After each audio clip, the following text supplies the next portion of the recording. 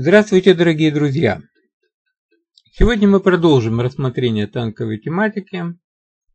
Будет достаточно много картинок, но в общем эм, суть этой темы, вообще ключевой вопрос, почему не расстреляли Ворошилова. 43 сообщение и о танках тоже. Вернее, нельзя вырвать танки из э, общего, так сказать, описания советской армии. Я имею в виду Красная армия. Э, я здесь э, хочу привести один пост из ролика «Штук 3. Пластика и красота» о танках. Это было самое первое, самое первое сообщение о «Штук 3» о стереотрубе. Ну вот, товарищ Анатолий Тинитилов пишет. Просмотрел видео, в целом доходчиво и грамотно. Корень вопроса в том, что до войны так и не успели создать того, что мы называем оптической промышленностью. Отдельные производства носили либо опытный экспериментальный характер, либо принадлежали к окламу другим ведомствам и на танкистов не работали. Стереотруба, конечно, не стереодальномер, но опытному командиру позволяет довольно точно указать наводчику и дальность до цели, особенно если у командира было время для разведки поля боя и возможность пробить реальную дальность до характерных ориентиров. А это, как вы понимаете, существеннейшим образом повышает вероятность поражения цели первым же выстрелом. Чтобы вы понимали сложность оснащения танка оптическими приборами, отмечу, что полноценные приборы наблюдения на советских танках появились лишь начиная с машин третьего поколения, а решения по определению дальности до цели только на четвертом. И вот что еще нужно понимать. Одно дело подвиг тех, кто шел в бой с врагом, с тем, что могла дать страна, и совсем другое э, глупая и лживая шапкозакидательская пропаганда, приводящая лишь к повторению трагических ошибок прошлого. Ну, я, естественно, на это ответил. Э, вот мой ответ. И э, почему я его привожу здесь? Ну, собственно, потому что э, у нас идет э, разговор, в принципе, на эту тему. Во-первых, конечно, вы правы. Одно дело тех, подвиг тех, кто шел в бой с врагом, с тем, что могла дать страна, и совсем другое глупая и лживая шапкодокидательская пропаганда, приводящая лишь к повторению ошибок прошлого. Настораживает только, что из вашего поста вроде как и нет ответственных за базар. Не успели и все, никто не виноват. Есть косяк. Из-за него огромные потери. Есть блядская власть, которая развалила систему образования и подготовки кадров, которая ставила на посты жополизов и подонков-карьеристов, сажала тех, кто мог создавать, культивировала тупость и чубоизволите дебильных командиров. Безвинно павшие люди, загубленный моб-ресурс, материальные ценности и страдания народа. И никто за это не отвечает. Вопрос даже не поднимает. Подвиг один на всех. Как победа. Одна для тех, кто страдал, и тех, кто жировал в Кремлевском дворце. И принимал преступные решения, бездействовал, самодурствовал, зверствовал в отношении своих. Заморили 10 миллионов крестьян на Украине под эту индустриализацию. И на танкистов не работали. Вот примерно так это звучит. И в-третьих, пересажать за два года по 15 директоров на одном заводе, да по 10 начальников каждого цеха. Это мы успевали. А поработать на танкистов, конечно же, нет. Да они ни на кого не работали. Э, и виновата в этом ВКПБ, КПСС, советское правительство, лично дорогой вождь и учитель товарищ Сталин и шайка его прихлебателей. Тех, кто мог сделать приличные образцы вопреки руководящей роли, можно перечитать по пальцам. Вот в этом вся история СССР.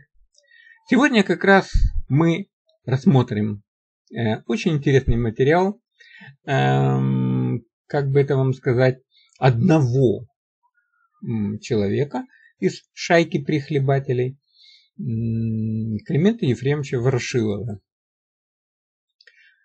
А, я вас а, фактически призываю а, понять, что мы должны осознать Э, вот эти ролики я делаю для того, чтобы мы не повторили ошибок прошлого. Я делаю против тех, кто подставил наших парней на той войне. И всех будущих. В память вот тех павших, сгоревших по придуре Советской империи, ВКПБ, КПСС, советского правительства и, и шайки его прихлебателей, лично дорогого учителя и вождя. Я хочу показать украинцам, как нас дурили историей Второй мировой войны и разговорами про самый-самый лучший. История, запомните, историография России, э, имеется в виду Российской Федерации, да и России тоже. Это ложь, это сплошная наглая ложь. Итак, Климент Ефремович Ворошилов, 881 год, российский революционер, советский военачальник, государственный партийный деятель. Ну, в общем, песня. Смотрите, какие занимал посты. Но меня больше всего интересует вот это. Не то, что он нарком по военным и морским делам, хотя это очень огромный пост. В 34-40-х годах нарком обороны СССР. То есть, в принципе, с 25 по 40 15 лет он имел дело с армией. Причем с армией на очень высоком уровне. Далее он тут избирался, переизбирался, в общем, целая куча должностей там. Из его биографии, э, значит, что он русский, Ворошиловградский, значит, э, ныне Луганская, да. Э, что мне очень интересно, вот, блин, эти Лугандонская это самое, все время таких пидорасов дают, блин. Вот, вот у них как-то вот есть, понимаешь, учился в земской школе и, бля, руководитель армии. При том, что все, вот это все его образование за всю жизнь. Учился в, земской, в земской школе. То есть, что он там кончил? Церковно-приходская, начальное это самое образование, и то лучше было, чем в этой земской школе села Васильевка. Ну да ладно. Ну хватило же ему командовать РККА 15 лет. Вот как образование при царизме давали, да? На Юрьевском металлургическом заводе слесарем, пастухом-шахтером это я пропускаю. Но вот это вот, это то, что характеризует во время Первой мировой войны, уклонился от призыва. Могли бы подумать, что он какой-то такая самоучка, которая лезет в драку, у нее все получается, у нее есть кураж. Нет. Вот кадр уклонился от призыва. То есть вы себе представляете, ну будем говорить так, всеми войсками командует чудак, который, как вам сказать, ну, с радостью уклоняется от призыва. Чем он тут занимался? Ревоенсовет э, первой конной армии, Буденный, понятное дело, да? За, за боевые заслуги в 2020 году почетное революционное оружие, 21 подавление Кронштадтского восстания, там командующий Московским военного округа, член комиссии по организации похорон Ленина. И дальше у него вот такая вот приблизительно деятельность идет. Партийная, бюрократическая деятельность. Но, но 34 по 40, а всего во главе военного ведомства он пробыл больше, чем кто-либо э, в истории советского периода всего. Вот в э, армии, на армейских должностях, да, преданный сторонник Сталина, возвеличивал роль Сталина в гражданской войне и так далее, и так далее. И пошло-поехало. Вот это вот, э, я думал, где же он, падла, взлетел. Э, Сталин и Красная Армия, статьи такие, знаете, да. Сталин как настоящий стратег, генеральная прозорливость, первоклассный организатор. Запомните, первоклассный организатор и военный вождь. Запомните это. Это пишет Ворошилов. Ну, соответственно, все это развито в кратком курсе истории ВКПБ, вперед-назад. Но вот это же я цитирую Википедию. При Ворошилове была перевооружена современным оружием и оснащена технически новыми моделями танков, самолетов, а также арт-орудий. РКК. Кроме того, в Красной Армии были утверждены новые звания, знаки различия, введено новое обмундирование. Ну, это из барона Мюнхгаузена, там, когда король, так сказать, э, занимался пошивом одежды, ну, тоже нужно, да? Но вот, вот запомните вот это. Новые модели танков, артиллерийских орудий, все перевооружено, все класс. А, после советско-финской войны а Ворошилова на посту наркома обороны сменил Тимошенко, который на эту должность э, назначил Сталин. Вот как раз об этом пойдет речь, об этой смене.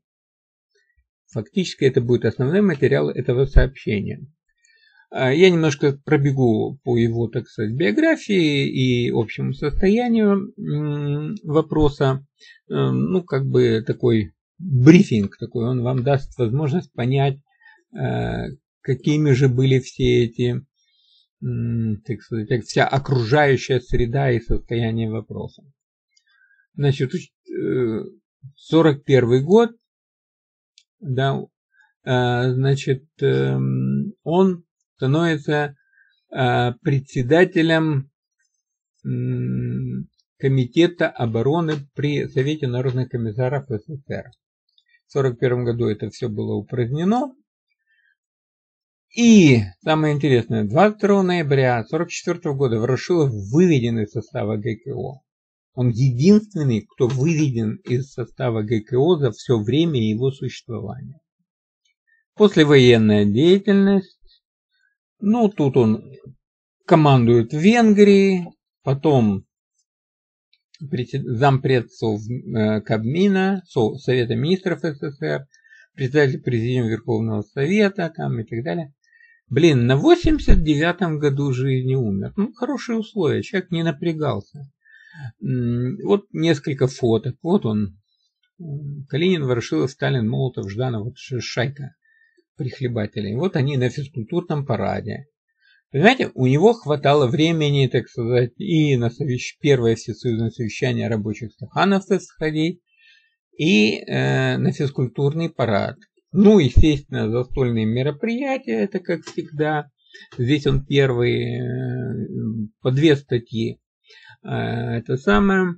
В год восхваляющий Сталин, жена Ворошилова, Голда Давидовна Горман. Переступление с брак Ворошиловым, с Ворошиловым в 13 году находилась в ссылке в Неробе.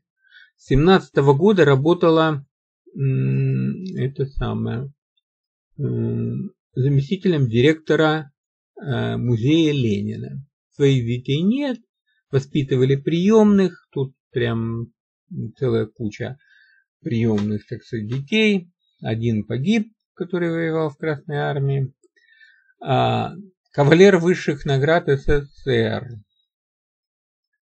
Тут такие, ух, идут отметки. Я пришлось мелким шрифтом. 154, один из 154 дважды героев Советского Союза и один из 11, которым присвоены обе высшие степени отличия звания Герой Советского Союза и Труда. Дважды Герой Советского Союза, бэмс, вот тут вот пошло-поехал, вы думаете, что Леонид Ильич Брежнев откуда-то это самое, откуда ноги растут? Вот оно. Э, герой Советского Союза в связи с 75-летием. Э, ну вот, дожил до 75 лет. Блин, 56 год. Герой Советского Союза. Э, в связи с 50-летием. Герой Советского Союза. А, Герой соцтруда, 8 орденов Ленина, тыры-пыры-пыры-пыры-пыры, номера, 6 орденов Красного Знамени, орден Суворова, орден Красного Знамени, Красного-Красного-Красного за победу над Германией в Великой Отечественной и там дальше уже памятные медали, 30 лет Советской Армии флота и так далее. Иностранные награды. Герой Монгольской республики. Два ордена Сахабатар. Вообще знал, где это Монголия, блин. Три ордена боевого красного знамени Монголии. Ну, блин, такой вояка, такой воин. Ну, дальше Кеконен из Финляндии повесил на него крест ордена Белой Розы. и другие иностранные ордена и медали. Это орден Венгерской народ, Народной Республики, где он там ошивался представителем это самое, э, СССР. Э, до своей отставки он был с поста наркома обороны самым влиятельным военным деятелем. Был живым символом, ну, Ворошиловский стрелок, все же помнят, да? А, там Сталин и Ворошилов в Кремле, он предстает как человек из ближайшего окружения Сталина. Его воспевали как, человек, воспевали как человека, который ведет к победе и так далее. Герой многочисленных кинофильмов. А в самом деле, что я к нему пристал? Видите, какой заслуженный. Завидно, наверное, да? Он тут, ух ты, там, трижды герой, там, то, все, пятое, десятое, да? Ну, это, это как сказать, да. Я цитирую вот эту книжечку. Вот она. Вот здесь находится. Качается она хорошо. Э, книжечка Веремеева. Э, вот что сам Веремеев пишет. Здесь есть один документик, он цитируется. Это акт передачи в мае 40 -го года Наркомата обороны СССР от маршала Советского Союза Кая Ворошилова, э, возглавлявший маршал Советского Союза СК Тимошенко. Вот сам, самое интересное, что предыдущий ролик, вы помните, там были отчеты комиссий. Так вот эти все комиссии ездили и проводили ревизию э, РКК.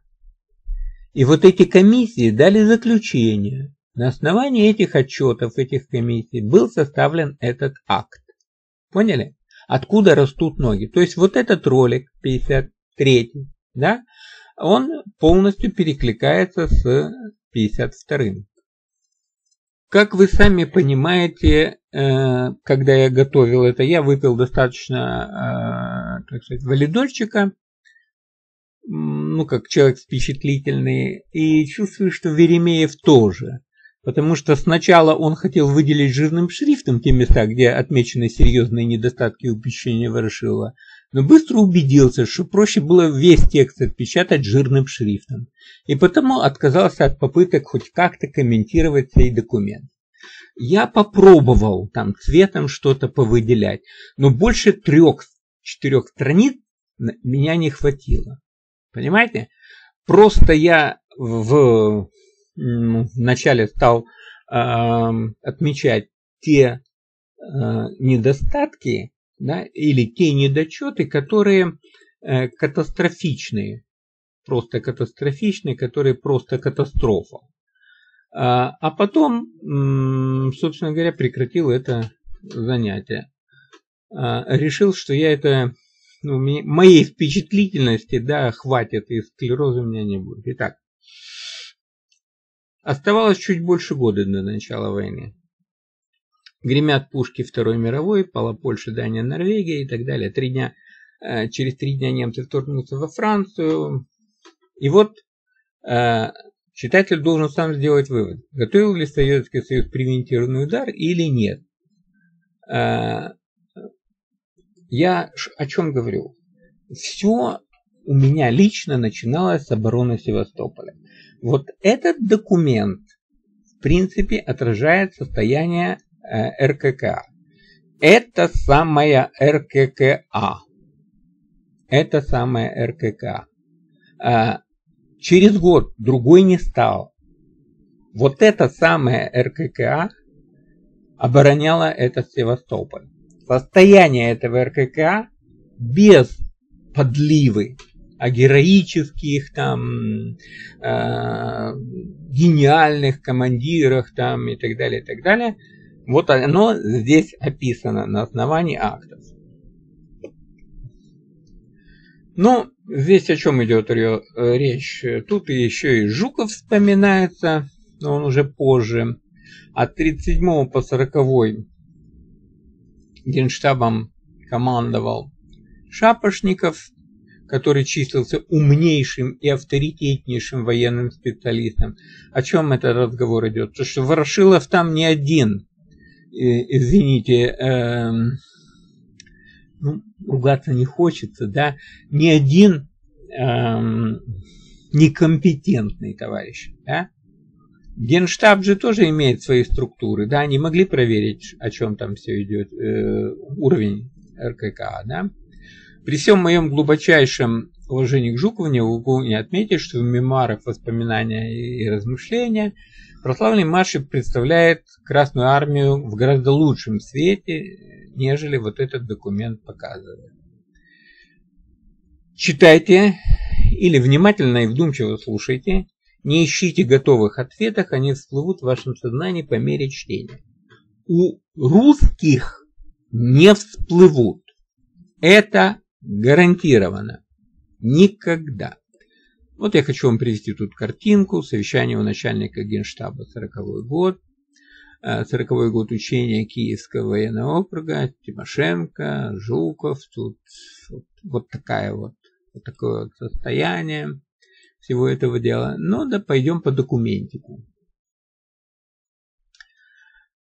Перевожение РКК. Да, стоп. Стоп, стоп, стоп, стоп. Как об этом рассказывают современные российские книги и современные российские интернет эм, издания, да? Чтобы вы, чтобы вы понимали, в чем разница того, что они рассказывают, и того, что рассказываю вам я. Это документика еще не касается, но это префейс.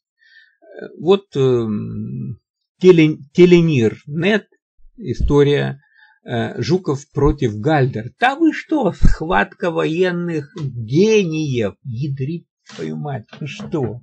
Схватка военных гениев. В общем, Советский Союз обладал уже огромной экономической базой, постоянно рост производства, 16,5 миллионов стали, там нефти, там тыры-пыры-пыры-пыры-пыры. Вот, эм, хотя это мизер по сравнению с Германией. В предыдущих роликах у меня это было. Э, уголь, чугун, киловатт электроэнергии, киловатт-часов, да, выпущено 45 тысяч автомашин, там то все пятое, десятое. Э, особый раздел развития вооруженных сил. Оказывается, был пятилетний план строительства Красной Армии. И он всякий раз рассматривался и принимался на уровне Центрального комитета и советского правительства. К его подготовке относились очень серьезно. В этой работе принимали участие все управления Генштаба. Обратите внимание, Генштаба, там там же этот самый Тимошенко. Затем документ поступал в Наркомат обороны, которым руководил Ворошилов, и также тщательно прорабатывался. Подготовка пятилетнего плана была поручена там Камбригу Красильникову, э, часть весны и лета 1937 года, и он представил этот план Шапошникову. Ну, умнейший человек, да, а, значит, 38-40 год э, рассматривался более двух месяцев, мурыжили все это дело. И Захаров пишет в отношении этого документа. Все планирующие документы Генштаба подписывались несколькими ответственными лидерами. После утверждения, соответственно, в Политбюро, в Совете народных комиссаров, ну и виза самого Генштаба. Сталин строго придерживался установленного порядка, и подобные документы единолично им не подписывали. Ну и тут Старо, Сталин Ворошилов подписывает и другие. Но Ворошилов конкретно за эту самую армию отвечает. Да? А, вот это вот теленет-нет, вот это вот перевооружение. Я вам показываю это натуральную картинку, а не текст, который я оттуда скопировал. Так что э, Идем к документу. Совсекретно акт о приеме Наркомата обороны Союза СССР товарища Тимошенко. Э, от товарища Ворошилова. 40 год, 7 мая, Москва. При приеме обороны товарищем Тимошенко, товарища Ворошилова, присутствии товарища Жданова, Мленткова, заслужены доклады начальников центральных управлений. То есть там не один парень, там друг другу. Установлено следующее. Организация и структура центрального аппарата – это о наркомате обороны. Утвержденное положение о наркомате обороны э, в 1934 году устарело, не соответствует существующей структуре, не отражает современных задач, возложенных на наркомат обороны. Точка. Вновь созданные управления.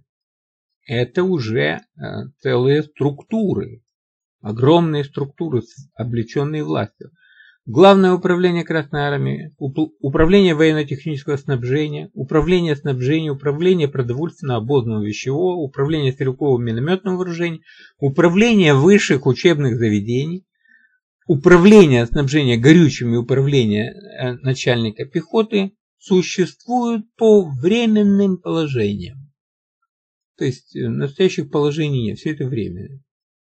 Структура других управлений Генштаб, арт-управление, управление связи, строительно-квартирное управление, управление ВВС и инспекции, там еще такие были, имейте в виду, это очень важно, это, изменена, причем положение об этих изменениях не утверждено. Наркому обороны подчинено непосредственно 34 самостоятельных управления и отдела. При этом положение недостаточно четко распределили, э, распределили э, рас, а, при, при этом положении и недостаточно четком распределении обязанностей между заместителями наркомата часто имела место задержка в решении вопросов, э, возникающих в результате управления наркоматом обороны. То есть уже это забюрократизировано. В разработке и издании уставов, наставлений и руководств, регламентирующих жизнедеятельность, нет твердой системы. В армии имеет 1080 наименований действующих уставов, наставлений руководств. Из них много временных, устаревших, требующих переработки. Вот это вот все в принципе означает, что войска будут нести огромные потери огромные потери. То есть это э, для армии это может кончиться смертью, но для народам это дикими тяготами. Основные уставы полевой службы, боевые уставы родов войск, внутренней службы, дисциплинарные также устарели и требуют переработки. О, бездельные котлы, море. Не могли переработать.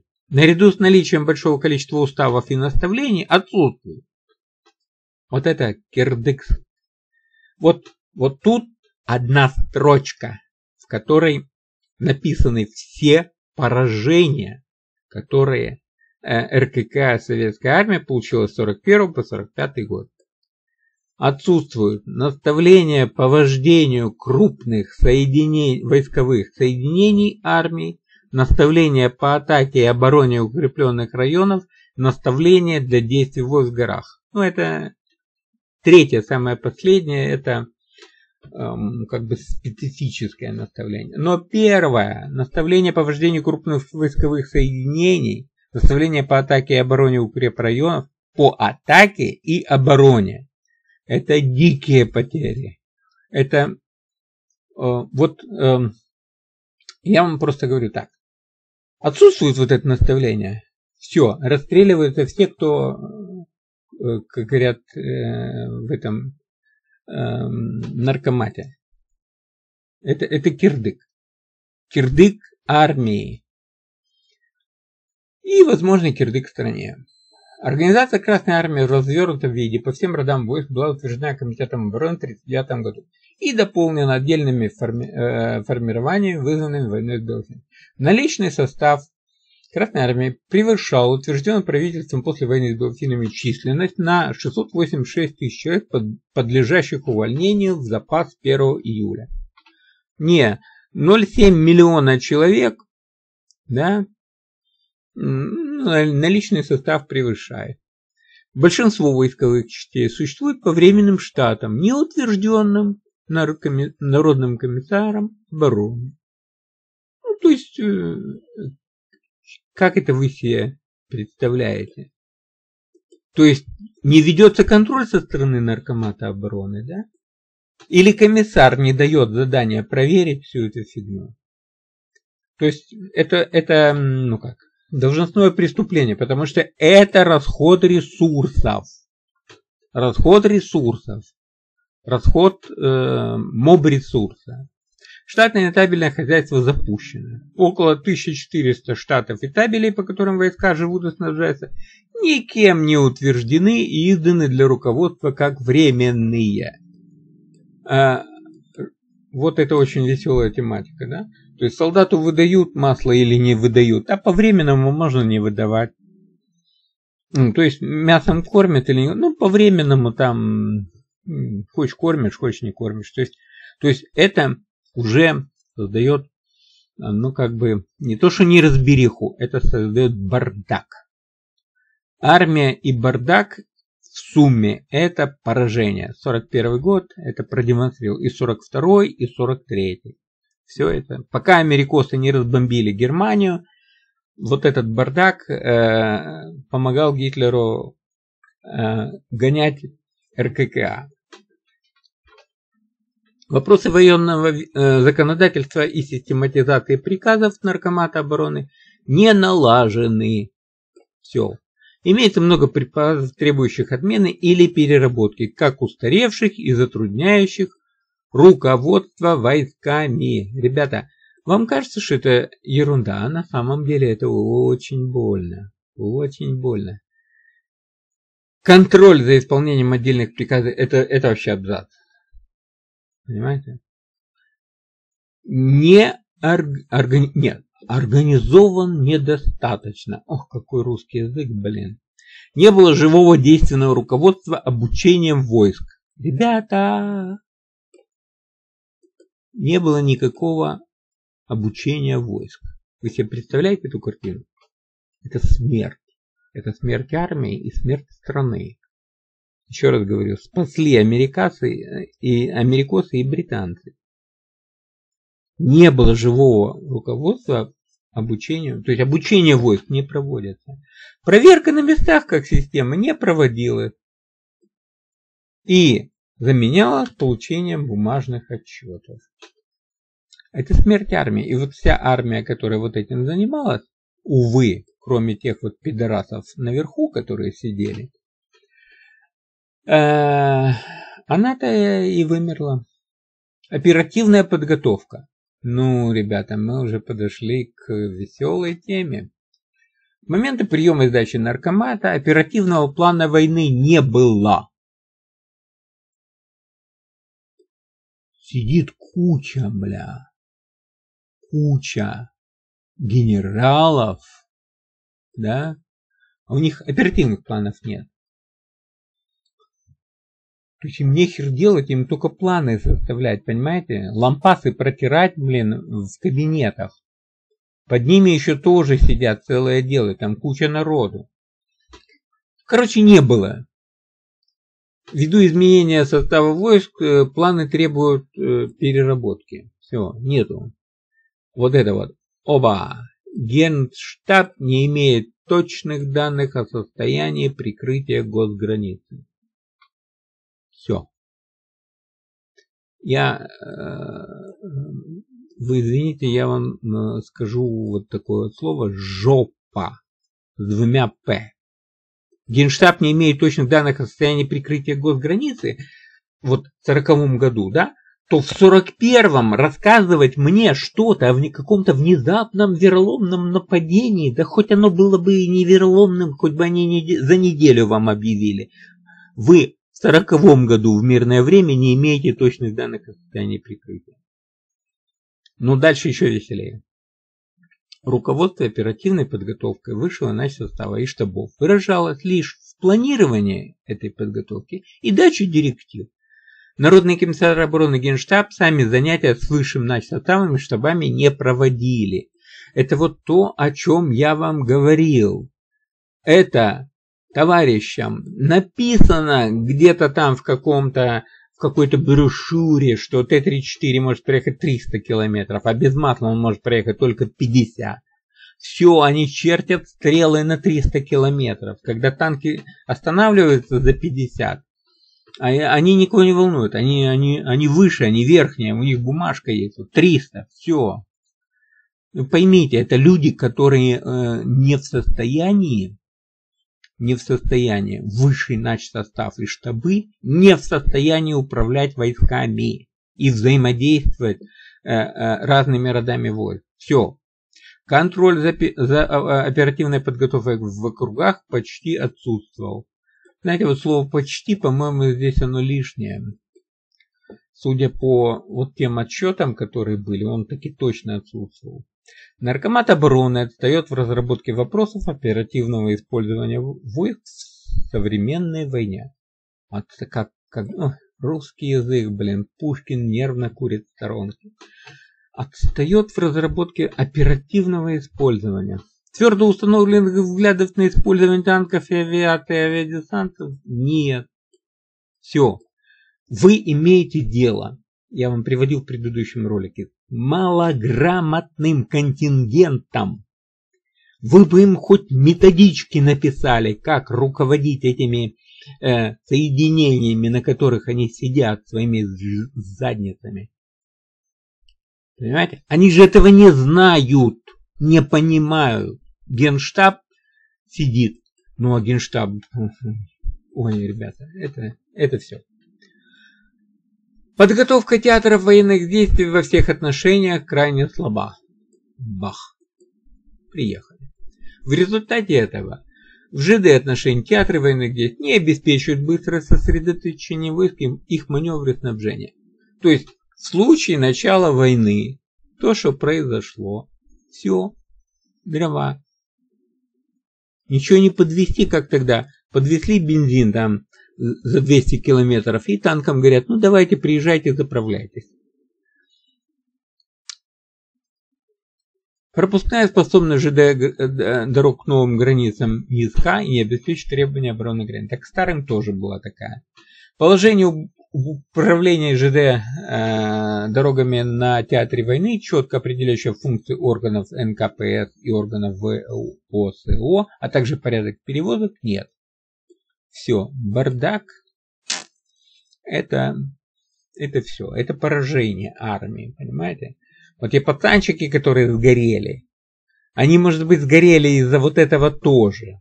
Строительство шоссейных дорог идет медленно, ведется многими организациями, приводит к распылению сил средств, отсутствие общего плана дорстроительства. Вот отсутствие общего плана дорстроительства ну, ядрить твою мать. Одного офицерика выделили бы, и пустили бы в этот гуждор, главдор, упор, гулаг НКВД, да, и спросили, покажите, что вы строите, чтобы мы не повторяли какого-то строительства. Это решить на уровне Совета Министров или на уровне Сталина это запросто было. Понимаете?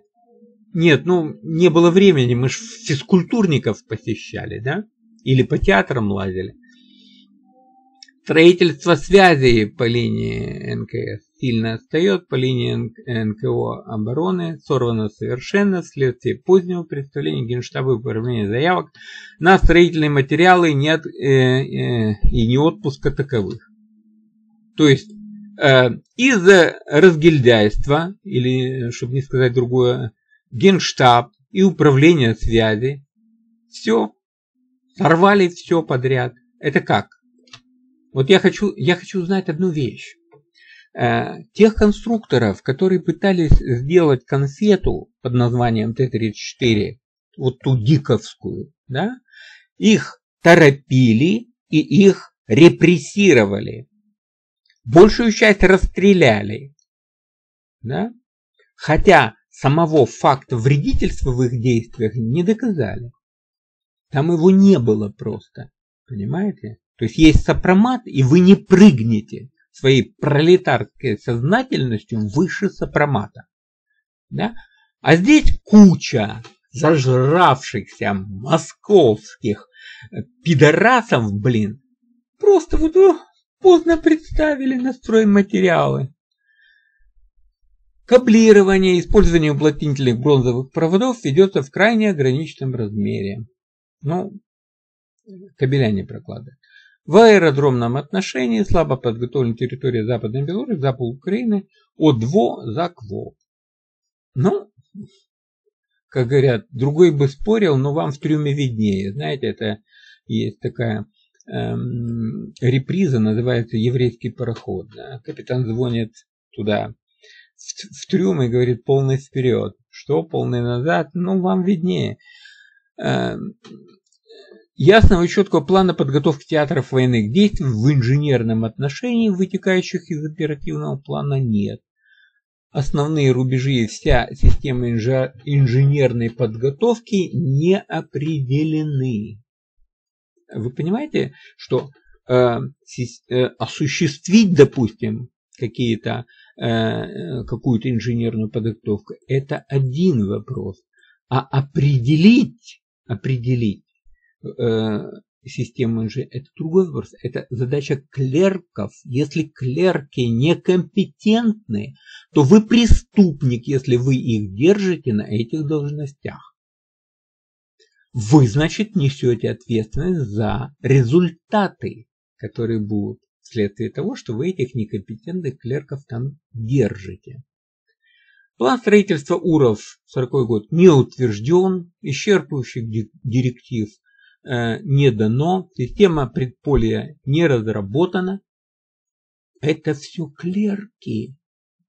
Это все клерки, это все штабные пидорасы должны этим заниматься. Нет окончательного решения указания Генштаба о содержании боевой готовности укрепрайонов 38-39 годов, которые должны использованы как сильно укрепленный тыловой рубеж. Ну нет просто. Да, он сегодня Лебединое озеро. Как же, как же. Да ладно, завтра. Ну, потом завтра, а потом еще. И пошли-поехали. Не достает тут чего-то там тыры-тыры-тыры-тыры, пере, пере это самое, пушек 520, 543, ружейных заслонов 2400.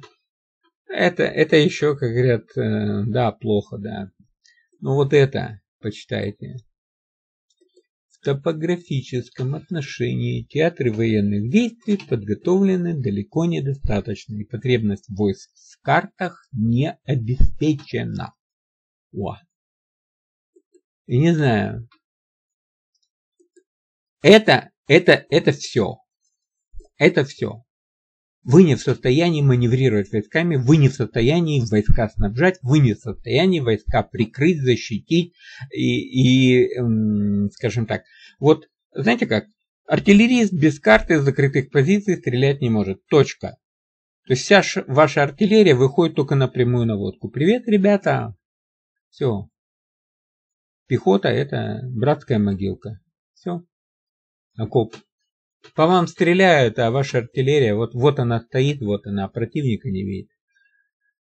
Это, это, э, это вот, вот такая вот, понимаете, как вам сказать, в топографическом отношении, вот такая строчка, да, эм, а на самом деле это вот, вот что означает, понимаете?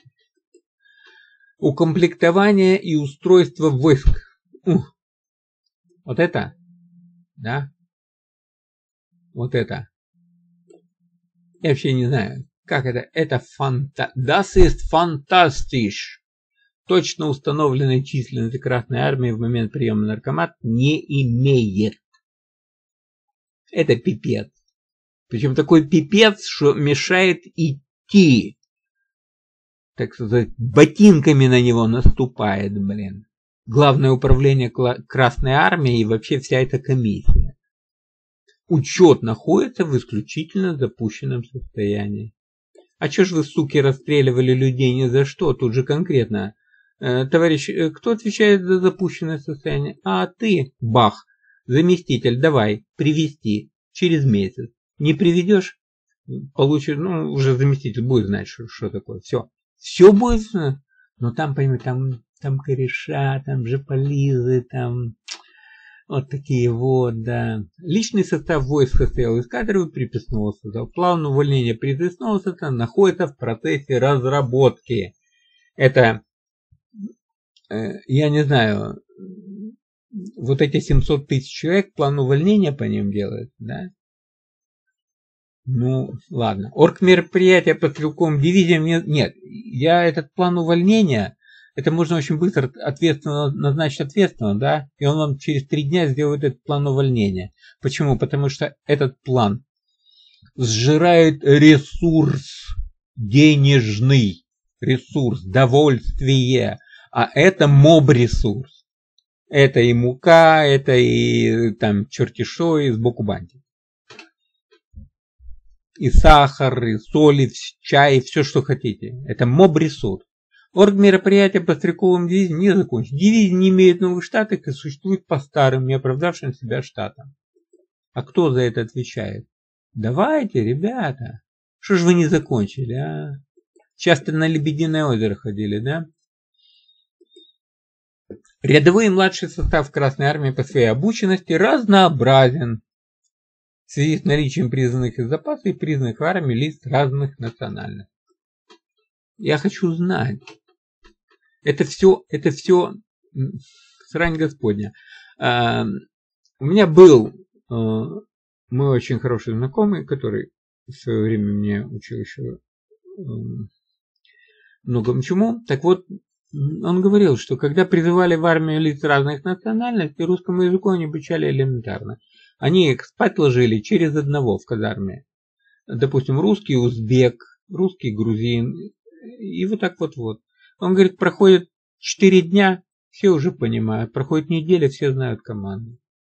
Все. Дальше, дальше вы, как говорят, э, их обучаете. Все без проблем. Это все было известно. То есть вам было западло, вам лень было, да? А потом люди кровью, вся страна кровью харкала из-за вашей лени. По укомплектованности армии лицами отдельных национальных, западные округа перенасыщены лицами, не знающими русского языка. Я вам еще раз повторяю, что это отмазка.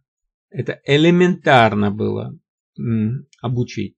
Тех, которые плохо знали русский язык, вы могли их, э, так сказать, на нетехнические специальности ставить. То есть на тех, где количество команд и количество навыков, э, в общем-то, меньшее. То есть не двигатель танковый перебирать по руководству, где он что-то прочитать не умеет сейчас, да? а заниматься другими вещами, строевой подготовкой, в пехоте и прочее. Положение прохождения службы рядового... Да, кстати, а что вам мешало вот это вот сбалансировать, а? Чего же вы тут такие, блин, умные, а перед этим такие глупенькие? А, вредители? Ну так ж ваш не шлепнули? Вот, вот тут возникает вопрос. Ворошилов всем этим руководил. По-моему, это уже где-то пахнет, эм, как говорят, обвинением для прокурора. То есть вот здесь вот есть вот ну, нет фактической численности армии, перерасход. Хлоп. Учет не налажен, вредительство хлоп. А кто командир? А кто, а кто, кто руководил? По устройству войск нет положения об управлениями. Вот это вообще. Это пипец. Вы поняли, почему все наши дивизии немцы хлопали как котят? Не поняли? А все потому, что нет положения об управлении частями, полками, соединениями, дивизиями и бригадами. Положение о войсковом хозяйстве устарело. Требует... Это все о войсковом хозяйстве, это все. Не разработано положение о полевом управлении войск. Вот это ребята. Ребята, это ужас. Ужас. У вас там сидят малограмотные, и вы им даже не можете ничего дать, чтобы они почитали, как же ему, блин, командовать дивизией в полевых условиях. Это смерть. Для страны это смерть. Мобилизационная подготовка. Это все акт идет. В связи с войной значительным передислоцированием войск МОП-план нарушен. Нового МОП-плана нет. Мероприятия по мобилизационным порядком не разработаны. Опять же клерки, блин. Опять же Ворошилов э, это самое. Ему нужно только приказ дать. Понимаете? Причем этот приказ можно было бы сказать, Лаврентий Павлович, приходи ко мне, садись, чайку попьем. И вызываешь и говоришь, так, вам приказано, тыры пыры пыры пыры И все. Через неделю все у тебя лежит на столе. Наркомат обороны, но для этого же надо быть, блин, э, просто... Бывают люди без образования умные. Но этот был э, хитрожопая пройдоха, которая пел песни дифирамбы Сталину, да, а э, своим непосредственно, ну, классная такой чудак оборонной командой такой страной, та вышла. Это, понимаете как, пейте валидол, говорят, или корвалол, у кого что есть, но это, это вот то, откуда растут ноги поражения Красной Армии. То есть Красная Армия, даже если бы она нанесла превентивный удар по Германии, все равно была бы жопа, потому что вот это все имело место быть. И никто не был там расстрелян за эти недостатки, понимаете? Наркомат обороны не устранил еще следующие недостатки, скрытые при проведении 1939 года. Крайняя запущенность учета военных запасов. Отсутствие единого учета военно обязанных и существование обособленного спецучета транспорта, транспорта и НКВД. Ну вот это вот, это тоже, это смертельно. А, слабость и, и неналаженность работы военкоматов, отсутствие очередности в отмобилизованных частей, что привело к перегрузке первых дней мобилизации. Нереальность планов развещения войск при отмобилизации. А, в чем тут, э, э, как говорят, масштаб трагедии, да? шкала трагедии? Она состоит в том, что, во-первых, это бардак, вы его, как говорят, пытаетесь взять это самое, а он говорит, а я водный транспорт, кукиш, я вон там вон имею бронь от этого. Да?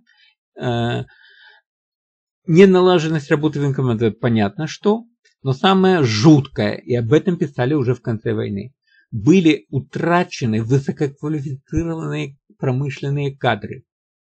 То есть суперспециалистов кинули вперед трехлинейкой, подобученные немецкие войска.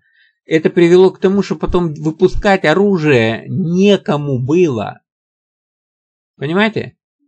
Это такое, знаете, вот типа недостатки мобилизационного плана, частичная мобилизация, тыры-пыры-пыры-пыры. А на самом деле вот это, вот это уже достаточно, чтобы разгромить любую страну. Как только она теряет высококвалифицированные производственные кадры, все, ей дрова этой стране. Так, неотработанность плана снабжения обмундированием при мобилизации, неравномерность подъема по мобилизации военнообязанных конского состава автотранспорта, отсутствие твердо установленного порядка в бронировании рабсилы на военное время, нереальность индивидуального состояния учета лошадей, повозок упряжи автотранспорта. Бррр. Да, это все частные причины. Но тоже э, это геморрой еще тот. В плане военнообязанных состоит 3 э, миллиона 155 тысяч необученных людей. План обучения их наркомата обороны не имеет. Все. А он уже должен был э, военнообязанных, как говорят, начинать там призывы на сборы, обучать там как-то. Но дело в том, что он их не обучал, хоть на сборы призывал, там такие были обуче... обучатели, как вы уже их видели. В числе обученного состава состоят на учет военные обязаны с недостаточной подготовкой. И по ряду специальностей мобилизационная потребность в специалистах не покрывается. План переобучения не имеет наркомат обороны. Так что, товарищ Клим Ефремович, уже пора зеленкой точку на лбу смазать. По данным Наркомата обороны, декомплект транспорта составляет 108 тысяч машин, причем это положение вызвано установленными завышенными нормами обеспечения войск автотранспорта. Наставления по моб работе в войсках военкоматов не переработаны. Ну вот, это как бы такая мелочь, да, но все это, знаете, тут каждый пункт, знаете, смердит. Здесь пахнет большой кровью. Состояние кадров. Некомплект нашего состава 21%. Вызван не только увеличением численности, но и является результатом недооценки наркоматом обороны вопроса подготовки комсостава. Климент Ефремович, что же такое? А? обещал, что мы всех тут будем это самое, а на самом деле тут же не неким за ним недооцениваете. Ежегодные выпуски из военных училищ за последние десятилетия едва покрывали естественную убыль, не создавая резервов для обеспечения роста армии и образования запасов. Детально разработанного плана покрытия некомплекта не имеется. Теперь слушайте, малограмотный командир, который ни хрена не знает. Качество подготовки комсостава низкое, особенно в звене взвод рота. 68% имеют лишь краткосрочную шестимесячную подготовку курса младшего лейтенанта. Это все, это капец. Ну, я сделаю ролик о том, как немцы готовили своего младшего лейтенанта.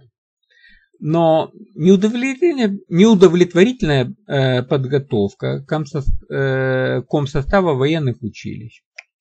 Почему? Недоброкачественные программы, неорганизованность занятий и вообще – недостаточное занятие, недостаточная загрузка учебного времени и слабой полевой практической выучки. Все, ребята, я не знаю, что можно, эм, как это сказать, вменить, да, что может быть хуже. может быть только одна вещь. Если у вас там 100% наркоманов э, в вашей вот этой самой э, в ком составе военных училищах, да, или алкашей. Вот, вот только этому, даже алкаши, это там, наркоманы. Вот. Совершенствование комсостава по кадрам не организовано. Здравствуй, бабушка. Недостатком программ э, подготовки командиров в военно-учебных заведениях это вузы уже. Проведение занятий преимущественно в классах. Насыщение программ общими предметами ущерб военных. А общий уровень, общий уровень, да, он требовал. Требовал. Почему? Потому что, э, ну, что вы ему объясните? Он, магнитное поле Земли надо рассказать, потом про компас. Наоборот, не получится. Понимаете? То есть некоторые вещи, да, научить, допустим, артиллериста стрелять, вы обязаны ему общие предметы, геометрию, э, алгебру, там, вбить ему в голову, потому что иначе он не поймет, как это все делается, как это все рассчитывает. В вопросах присвоения военных званий нет твердо установившейся системы и в ряде случаев имела э, место компанейщина. Я вам про вермахт сделаю а, сообщение. Там есть, есть некоторые различия. Этому способствовало отсутствие периодического аттестования начсостава, существующий порядок не выявляет деловых качеств командира и работы командира по боевой подготовке своей части. Блин, ребята. Комсостав недостаточно при, привлекается к аттестации. В большинстве случаев аттестация проводится политсоставом. То есть тупыми дубарями, которые выучили две. Значит, это самое, что э, пролетариат это гегемон, блин, а ты вот как ты к гегемону, как ты вот к коммунистической партии и все. Ага, готов. Блин, то, что он ничего не знает. Это э, херня. Считалось, что тот, кто владел э, знаниями марксизма-ленинизма, он непобедим. О, нормально.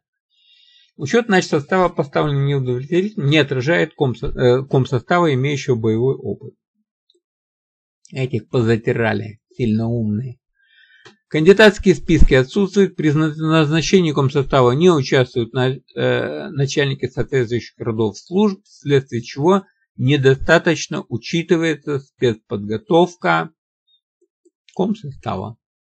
Опять же, наверх лезет пена, и будут очень большие вследствие этого потери. Нормы убыли начсостава на военное время не разработаны, не имеется начсостава на первый год ведения войны. Учет и подготовка начсостава находятся в неудовлетворительном состоянии. Я вам задаю вопрос, как вы думаете, в 1941 году это все уже было исправлено? По данным Наркомата обороны для полного отмобилизания армии по военному времени недостает 290 тысяч человек комсостава запаса, а имеется 195. Недостаток 95. Плана подготовки пополнения комсостава нет. Но это долж... вот эти 195 тысяч человек, что были, ребята, вы извините, но я понимаю, каждый любит своего дедушку, но уровень подготовки дедушки какой, что он кончал.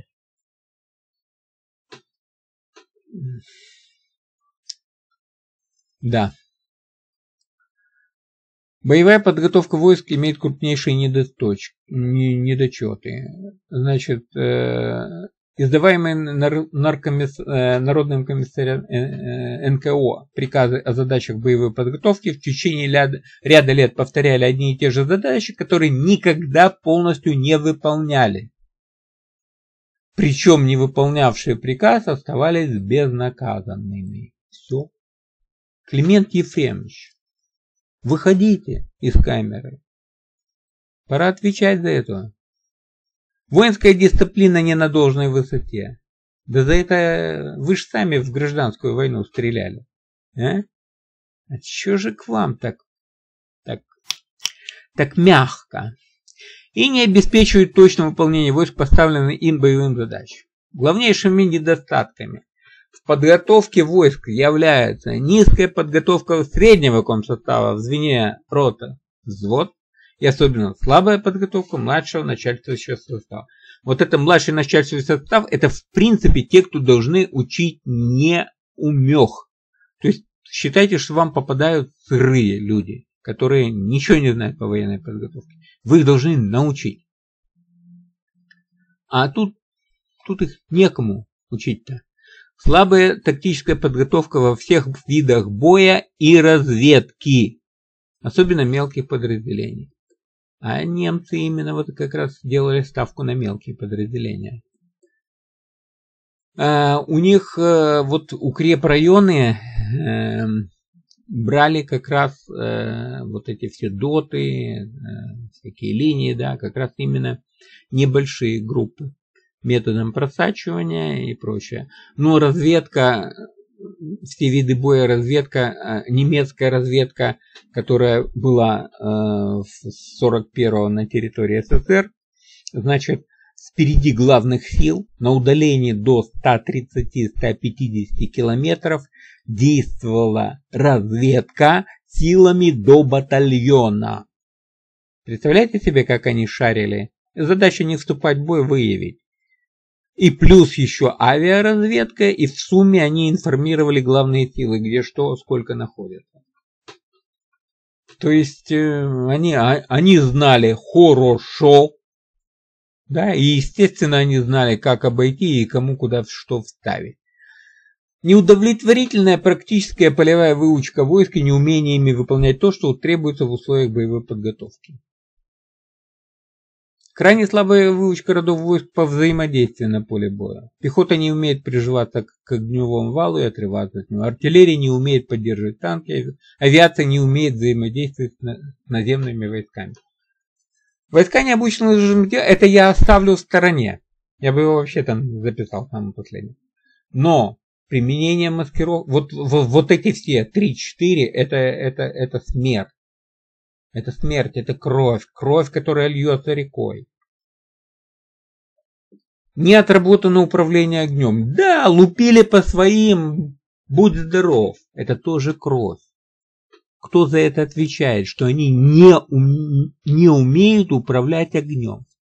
Войска не обучены атаке укрепрайонов, устройству преодоления загряжений, форсированию. Это тоже кровь. Генштаб отдает приказ, все побежали, опа, вон там танки, которые застряли при форсировании рек. Видели, да? Ну вот это оно. Потеря э, боес, боеспособности. Все, нет участия. Завязла в болоте. Они не обучены форсированию рек. Неправильное обучение воспитания войск боевой подготовке много условностей, войска не тренируются в обстановке, приближенной к боевой действительности, примительно к требованиям театра военных действий, мало обучается в поле практическому ведению всего необходимого для боя, недостаточно воспитывается и так далее, и так далее, и так далее.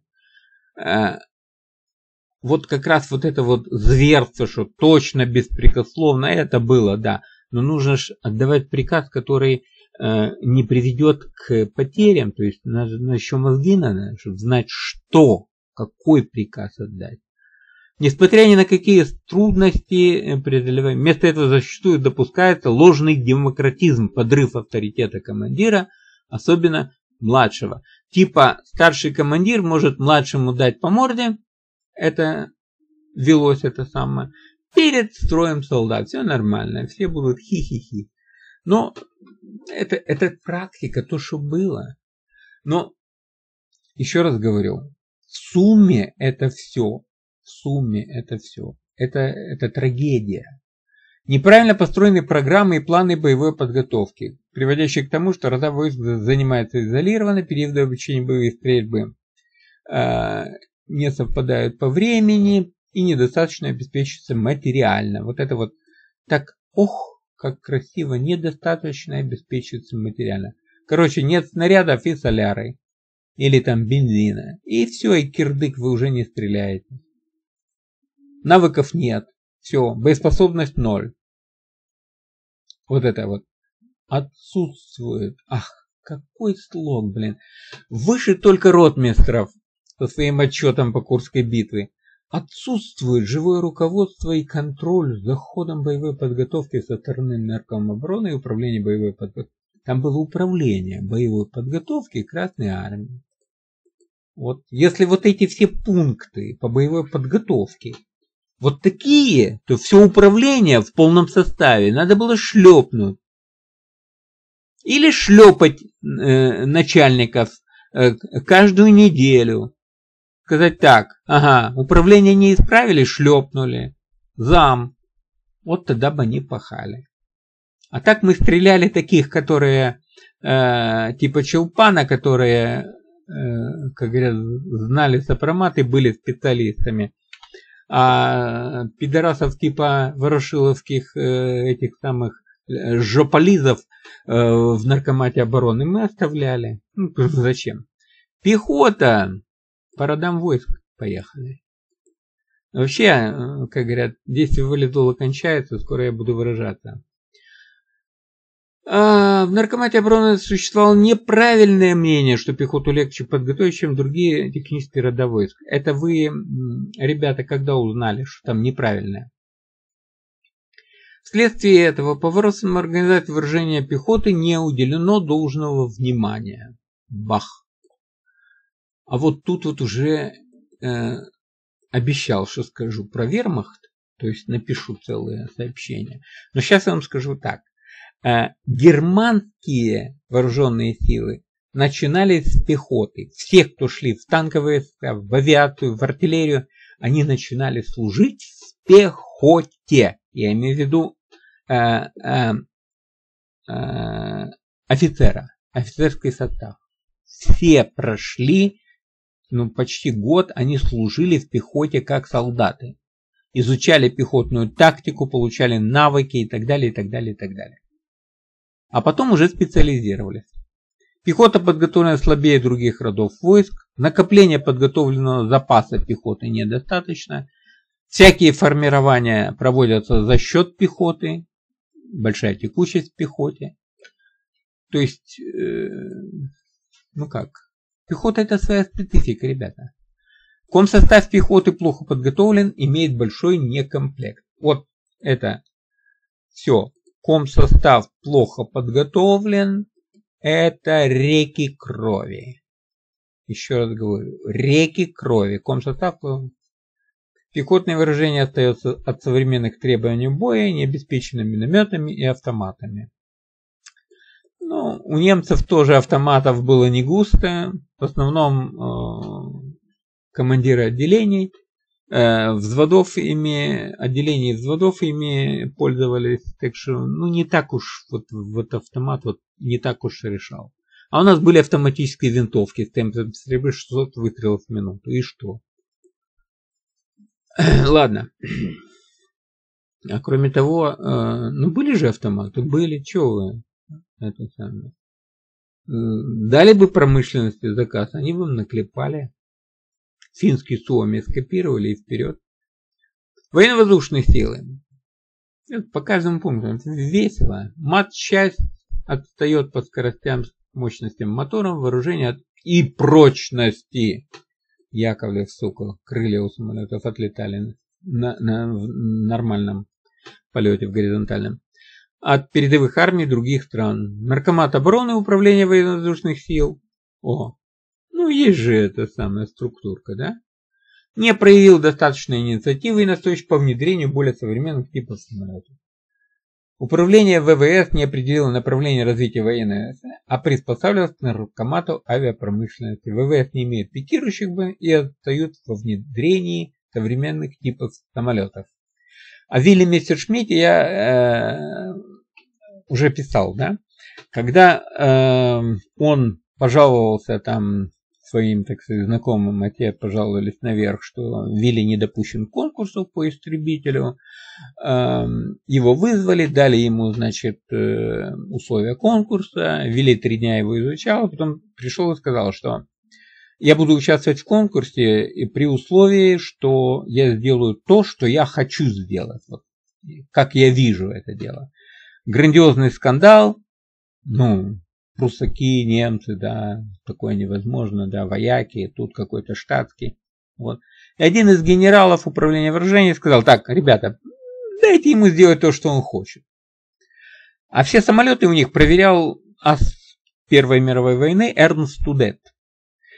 Э, легендарная личность, и Эрнст Тудет всех их облетывал, облетывал.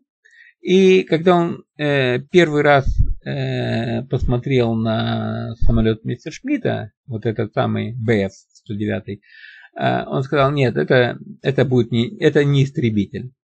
Вот. Но после того, как он уже на действующем самолете взлетел, он сказал, да, это самая классная машина. То есть, поймите, уровень интеллектуальный Эрнста Удета простого, ну будем говорить, ну, он был не совсем простой, но он отвечал за выражение, но начинавшего простого летчика был настолько высоким, и он не боялся признать свою ошибку от первого раза.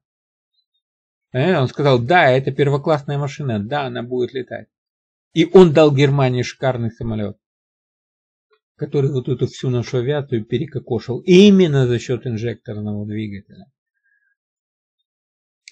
Ой, ладно. Управление по вооружению отстает от... Э, да, по вооружению наши самолеты отстают, э, отстает внедрение крупнокалиберного оружия. Отработка новых образцов и испытаний доводка крайне медленно. Состояние, вот это, состояние учета самолетов моторов неудовлетворительно, а качественный учет совершенно не организован и не ведется. Пипец. Авиачасти имеют некомплект 10%, в том числе 24% устаревшие типы, требующие замены. Э, значит, вот тут вот весело. Это то, о чем я вам говорил. Э, все думают, что вот эти проценты, они там что-то... Э, не, они решают, да. Но вот когда он пишет, военно-воздушные силы недостаточно обеспечены средствами подогрева и заправки. Все. Не можете заправить самолеты, то какой у вас там не комплект? 10, 20, 30, 50.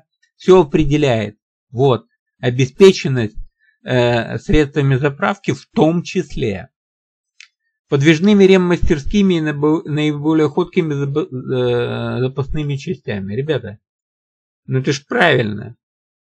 Но все определяет то, чего меньше. Чего меньше? Ходких э, ходовых э, запчастей, средств заправки чего? И эти ваши э, самолеты 90% летать не будут. Склады авиамех имущества недостаточны, не удовлетворяют потребности авиационных частей. Все. То есть какая ваша боеспособность? Вот такой огроменный знак вопроса на всю страницу. Аэродромная сеть недостаточно, не обеспечивает нормальную работу, развитие отстает от роста военно-воздушных сил, организация авиации устарела, требует пересмотра. У вас же, блин, целая, целая, целые структуры дикие. У вас были летчики, имеющие боевой опыт. Что ж вы их не ставили? Нет, там сидели ваши, ваши это самые толстожопые с широкими лампасами бездельники и ничего не делали. Летно-технический состав недостаточно подготовлен в бомбометании, полетах сложных метеоусловий и в стрельбе. Авиашколы выпускают слабых летчиков, обычно главным образом на старой матчасти. Вследствие этого молодых летчиков приходится переучивать в частях. Ну, об этом уже было Смирнов, э, все было не так в этой книге. С, эм, сталинской соколы, умытые кровью. Да. Вопросы прохождения службы летно-техническим составом не отработаны. Существует неправильное положение, когда красноармейцы действительной военной службы после годичного обучения в школах младших специалистов выпускаются по категории среднего начальствующего состава.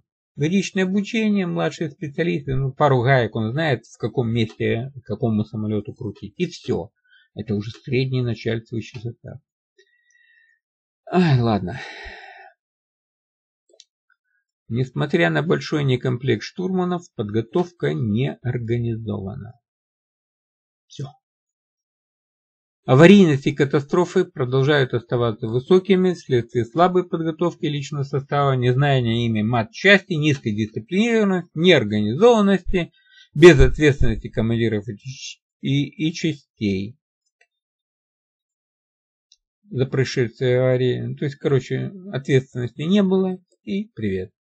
Авиадесантные части, ну, не получили должного развития, там говорили, там у нас такое было, достав, там все на парашют и все такое. Не получили двойственность подчинения по УББ, Управление боевой э, подготовки, и по линии ВВС, Служба специального имущества и обеспечения самолетами. И вот это все приводило к тому, что авиадесантные части были, как говорят, бедные родственники, у тех просишь, у этих просишь, и все. А все тебя нафиг посылают. Организация воздушно-десантных частей отстает от современных требований, требует пересмотра в сторону создания более сильных соединений, внимание к парашютному спорту и его развитие ослаблено. Как же так? Нас, нам же все рассказывали. Автобронетанк. Ну, наконец-то мы о танках, да? Развитие мех механизированных танковых войск в общей системе отстает от современных требований массированное применение танков в бою и операции. Откуда это они нагребли? Ну, естественно, из э, войны во Франции, да? Э, существующие танковые бригады не подкреплены достаточным количеством моторизованных частей. Ребята, было бы там много моторизованных частей, было бы мало, если командиры, командиры не способны, они не понимают, как управлять. Да? Это все дрова. Ну ладно, ну написали, не подкреплены. Наркомат обороны в деле развития танковых мехвойск проявил совершенно недопустимую осторожность. Ну, танки стояли под брезентом, привет. Вот. Количество танков в Красной Армии недостаточно. Ну, 23 тысячи. Вы не думаете, что БТшка это... Ее можно было модифицировать и все такое прочее. Она вполне удлинить 45-ку. И она вполне могла, а на некоторые поставить автоматы 76-миллиметровую пушку на 45-ку ставили. То есть на БТ. БТшку ставили. Вооружение танковых частей отстает от современных требований, в результате чего современные толстоброневые танки внедряются исключительно медленно. Ну, вот это вот мы заперлись, да? Вот это уже мы к Т-34 подлезли, да? Исключительно медленно. Ну, чтобы ускорить, конечно, подключили Лаврентия Павловича, да, и его шобу. А наличный бронетанковый парк э, подвергся напряженной эксплуатации в боевых условиях, вследствие чего значительная машин э, требует капитального и среднего ремонта. Однако ремонт затягивается из-за отсутствия необходимых запчастей. А, ну тут вот еще веселая картинка. Толстоброневые танки это Харьков, который же и делал эти необходимые запасные части. То есть, ребята, как говорят, э, вы смотрите, куда грузите. Создаете новый завод в том же Харькове, он будет вам делать запчасть.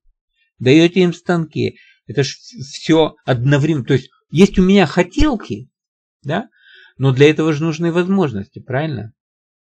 Хотите летать там э, на большой высоте, ну покупайте себе самолет. А хотите передвигаться по земле, так вам хватит и машины.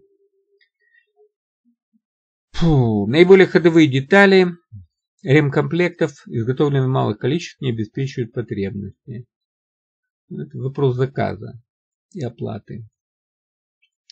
Организация ремонта боевых машин в полевых условиях решены неправильно.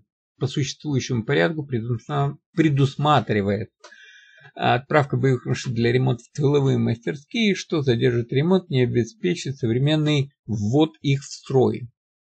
А, значит, э, эксплуатация автомобильного и тракторного парка поставлена неудовлетворительно, вследствие чего в армии имеется большое количество машин, требующих ремонта.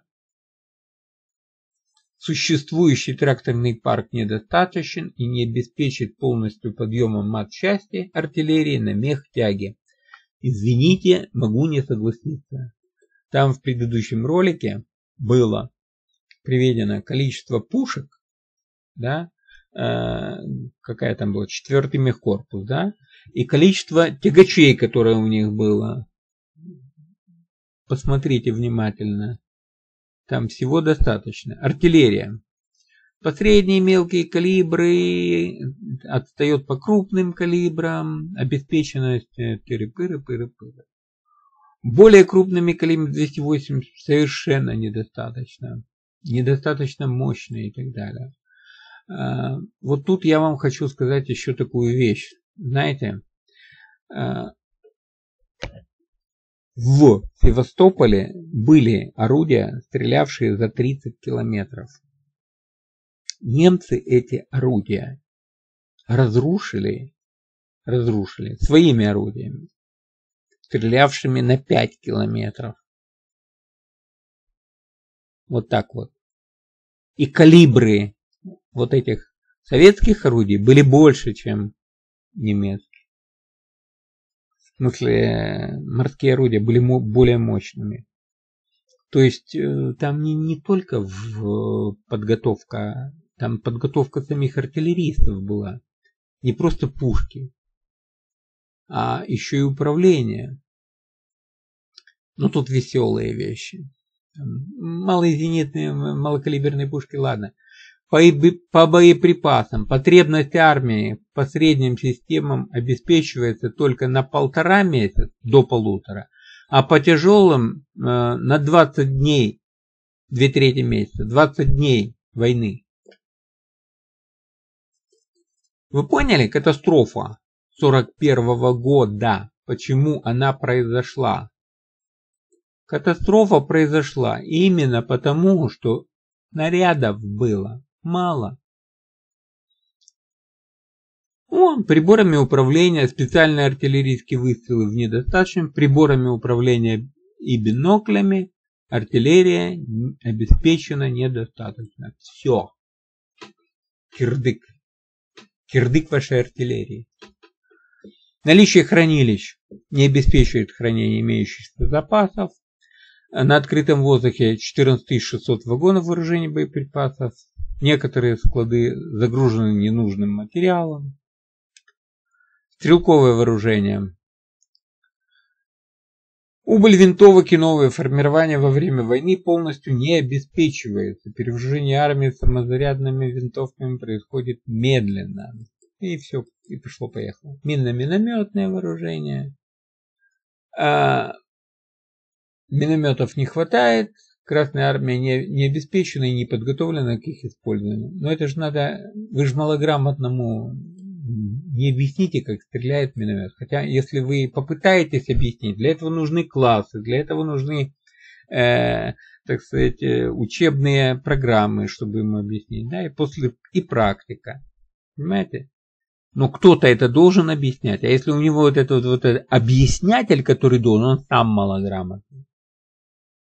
Некомплект минометов, минометы э, крупных калибров существуют только в образцах. Точка. Применение пехотных противотанковых мин – неотработанные вопросы. Производство и изготовление мин не организовано. Имеются только опытные образцы. Вот вам Здравствуй, бабушка. То есть заминировать дороги э, в Беларуси и на Украине, когда вы отступали, вы не могли. Танкоопасные направления перекрыть не могли. Инженерные войска, шестой пункт. Обеспеченность существующих инженерных частей основными видами инженерного вооружения э, и лесозаготовительными дорожными средствами, средствами водоснабжения маскировки техники составляет всего лишь 40-60%. Все. Новейшие средства э, техники имеются только в образцах и не внедрены. Окопокопатели, средства глубокого бурения, переправочные средства по количеству недостаточные, особенно по тяжелым пакам. Низкая обеспеченность по колючей проволоке 6%. Не получили и э, развитие вопросы минного заграждения и разграждения. Это все кровь. Войска связи. Ну, войска связи. Да подумаешь. Ну вот это подумаешь приводит к тому, что вас могут запросто обойти, вы не будете знать, куда вести столярку и снаряды, и, как говорят, веселье будет очень кровавым. Очень кровавым. Нечеткость организации связи привели к тому, что во время похода в ЗАП Украину и ЗАП Белоруссию, во время войны с белосинами войска связи не войска связи не имели устойчивой и непрерывно действующей связи. То есть войска не обеспечивали. Химические войска. Отдельная тематика. 63 предмета химвооружения утверждены, но Принято на вооружение только 21, 42 не рассмотрены. Дегазационные средства не обеспечивают по количеству и качеству предъявляемые им к ним требования. Все. А, из дегазаторов существует только хлорная известь. Это песня. Средства химнападения не имеют норм вооружения, нет отработанных норм тактического использования. Химвойска не имеют образцов машин для газопуска, заражения, дегазации и прочее, прочее, прочее.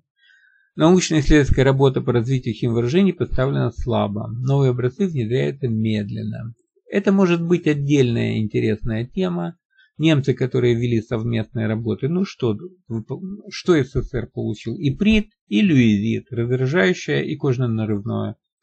Э, в смысле, иприт и люизит это э, кожно-нарывные облы, да, ну еще там хлорпикрин, да, как раздражающий, да, а немцы за это время разработали очень серьезный ассортимент, до сих пор непревзойденный ассортимент химии. Конница, ована, состояние выражения конницы удовлетворительное, слабость недоработанной штатной организации горно-кавалерийских частей. Тоже печалька.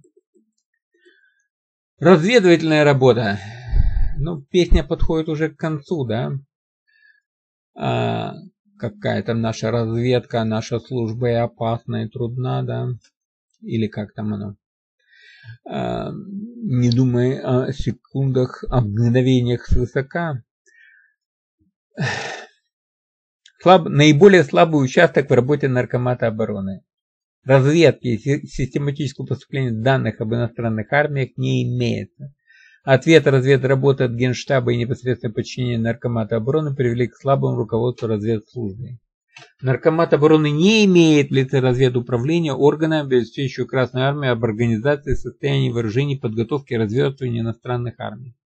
Тыц, говорит Наркомат обороны разведданными э, не располагает, я имею в виду о подготовке и прочее. Театры военных действий и их подготовки, э, их подготовка не изучены. Все. ПВО. Ой, oh, yes. 32 год. Положение устарело, не отвечает требованиям. Дальномеры не обеспечивают стрельбу на высотах более 6,2 км. Приборы по АЗО управления зенитным огнем несовершенны. Упра... Э, значит, подготовка зенитных частей неудовлетворительная. Тренировка ведется с устаревшими типами самолетов. Нет практики. Слабо развиты прожекторные части, не все объекты обеспечены прожекторами, служба в нос слабо организована. В общем, тут уже, уже понимаете, такой элемент, как, как вы видите, я уже э, ничего не выделял. То есть я как, когда начал читать, потом я уже прекратил выделять. При существующем состоянии руководства организации ПВО должная защита от воздушного нападения не обеспечивается. Оба-на. Руководство службы и тыла уже не мог, не хватило выделять. Ой. Руководство организации тыла и тыловой подготовки отсутствует. Ни одного специального тылового учреждения, учебных сборов командира службы в тылы. В общем, короче, ребята, устав тыла засекречен, значит, ком значит состав его не знает. А вона. То есть это вообще тоже такой, знаете, пикантный анекдот. Ага, Устав тыла засекречен, засекречен. Ты что-то сделал, сейчас мы тебя хлоп к стенке поставим, шлепнем тебя. Ну ты не по уставу действовал. Знаешь? Незнание закона не освобождает от ответственности. А он засекречен, а тебе его не дали. Все. Устав требует переработки, подчинение начальников отдельных служб командования значит, штаб приводит к тому, что команда не имеет времени заниматься каждой службой отдельности, по настоящим тылом не руководить, не контролирует. Вот это вот, извините, немножко свистелки. Если на, на, э, начальник штаба не знает, что делает его тыл, да, то и, и не контролирует тыл, и снабжение все не контролирует. Как он будет организовывать эти все наступления, отступления, оборону, э, это, это не, ну как, немножко тут перегибчик. То есть то, что начальник штаба у вас не соответствует должности, и то, что у вас неправильно все это организовано, это один вопрос. А штаб тыл должен, тыловые, э, так сказать, э, подразделения э, частей, они должны э, понимать, так сказать, то есть не то, что понимать, должны работать на войсках. А, территории, отошедшие в СССР, 30-40 в отношении тыла не, не подготовлены. МОБ-заявка нереальной мобилизацию промышленности не обеспечивает. Все. Все. Фактически плана мобилизации в промышленности не имеется. В связи с этим план подачи боевого имущества и интендантское, интендантского довольствия на военное время нет. Все, бардак, вы голые. Подача военного имущества и интендантского удовольствия, вы голые. Первое, вы голодные, у вас нет обуви, у вас нет э, бензина, ваши танки ехать не могут, все, все, дрова. Это реки крови. Или, или толпы военнопленных. План вооружения и снабжения на 40 год в округа до сих пор по вине ГУК не спущен, не дает возможности отработать обеспеченность войск на мирное и военное время. Это все. Это, это все. У меня кончился уже валидол здесь уже начинается это сам. Учеты количественные и качественные центральных довольствующих управлениях поставлен плохо, не дает возможность правильно определить обеспеченность войск. Вы ж пидорасы, у вас люди ж голодные, одни жируют, другие голодные. Жируют ваши пидорасы, а голодные обычные солдаты. Как они будут учиться, когда у них только, только пожрать, это самая мысль. МОП-фонды против урожая, израсходованные в зимний период 40 -го года, не восстановлены. Оба-на. Вы поняли? Маленькая Финляндия вломала так, что МОП-фонды не могли восстановить. 40 год, ребята. 41 То есть то, что восстановили бы даже до 41 -го года, а оно все, дрова, его надолго не хватает. Камчатка, Сахалин, МНР, они отсутствуют. Дислокация моб-фондов требует уточнения. Финансовые сметы э, устарели, требуют переработки. Это военно-хозяйственное снабжение. Ну, ребята, э, я честно говорю, вот, вот, вот не, не могу дальше. Организация системы обозно-вещевого продовольственного снабжения и квартирного обеспечения Красной Армии мирного времени совершенно не были приспособлены на военное время. Моя радость. Здесь типовые штаты армейских фронтовых органов военного времени оказались негодными. Здравствуйте. Помощники там роты, ротные пистолят сокращены, потом введены, когда учет имущества был запутан во всех низовых звеньях. Нормально. Ну вот что, э, я хочу знать, сколько было, вот, э, чего же Лаврентий Павлович этим не занимался? Чего он лез мешать танкистам создавать конфету? А? Которые они могли создать, которые они хотели создать, которые по параметрам они, они успевали создать. Мне надо было всем мешать, всех этих пидорасов Кошкиных пхать туда для того, чтобы они не давали работать. Я про это тоже ролик отдельно сделаю. Штатные табельные э, хозяйства. А тут, понимаешь, учет имущества, да, все запутали, да, все классно. Штатное табельное хозяйство в наркомате обороны крайне запущено. Все, Действующие штаты с табелями непрерывно дополняются, изменяются, переиздаются. Нет общего хозяина над штатами табелями. Действующие нормы снабжения устарели или негодны. Некоторые заниженные имущества, некоторые завышенные спецодежды. Нет правильного распределения отдельных номенклатур между действующими управлениями заготовителями. Да, муз-инструменты, лыжи это все херня. Ух, о чем тут еще?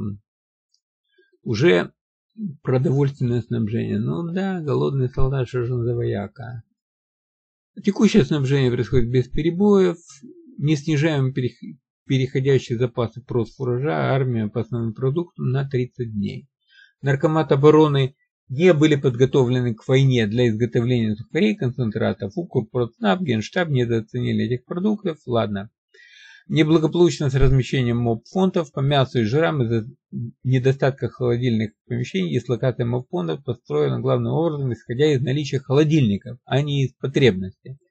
Короче говоря, солдаты были без мяса. Особенно плохо с размещением фондов для первого, второго УК и ЗАП, э, ЗАБВОЗ, Забайкальский военный округ.